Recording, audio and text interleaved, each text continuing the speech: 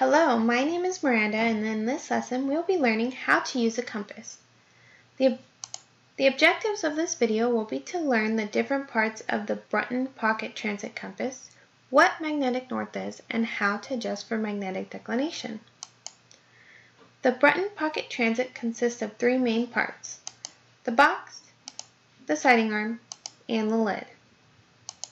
Inside the box there are many different parts used to determine the vertical and horizontal angles.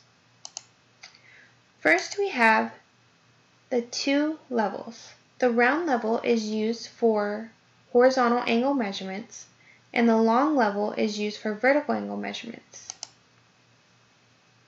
Next we have the graduated circle, which is used to read the azimuths, which are accurate to a degree. With the added vernier, we can increase the accuracy to the nearest minute. This is the magnetic needle. It has two ends. The end denoted with the N is the north. This is pulled to the northern hemisphere where magnetic inclination is downwards. The other end, denoted with the S, has an added weight for balance. This weight can be moved to the north end if the compass is being used in the southern hemisphere. The last piece in the box is the index or zero pin. This is used to set the magnetic declination. Before using a compass, you should understand the difference between magnetic and true north. True north is normally considered to be facing towards the North Pole, whereas magnetic north is considered to be a function of the Earth's magnetic field. This can be a difference of 20 degrees, which will add error depending on where you are in the US. Since the magnetic north constantly changes, NOAA has created a simple online calculator, calculator available that can determine historic and current magnetic declinations.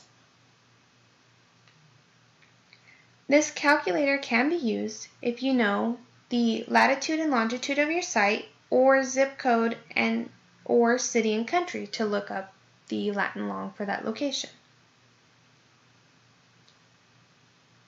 The example we will be using in the next lesson is Cole Park in Corpus Christi, Texas, which has a zip code of 78404. Using this zip code, we obtain a latitude of 27 degrees 46 minutes and 12 seconds and a longitude of 97 degrees 24 minutes and 0 seconds.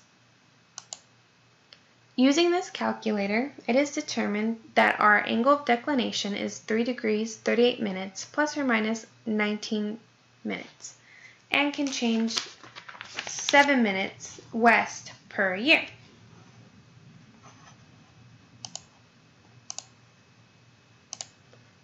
Using this information,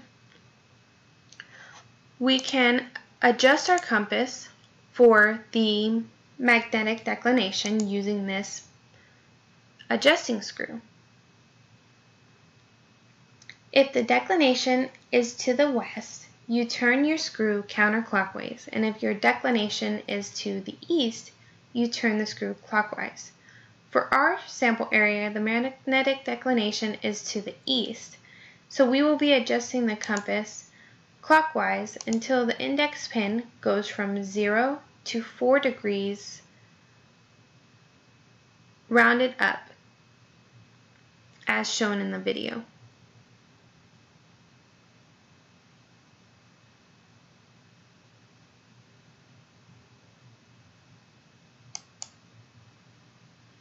The final parts of the compass left to review are the sighting arm, which contain the large and peep, the large sight and peep sight, and the lid, which contains the mirror, the axial line, and the small sight.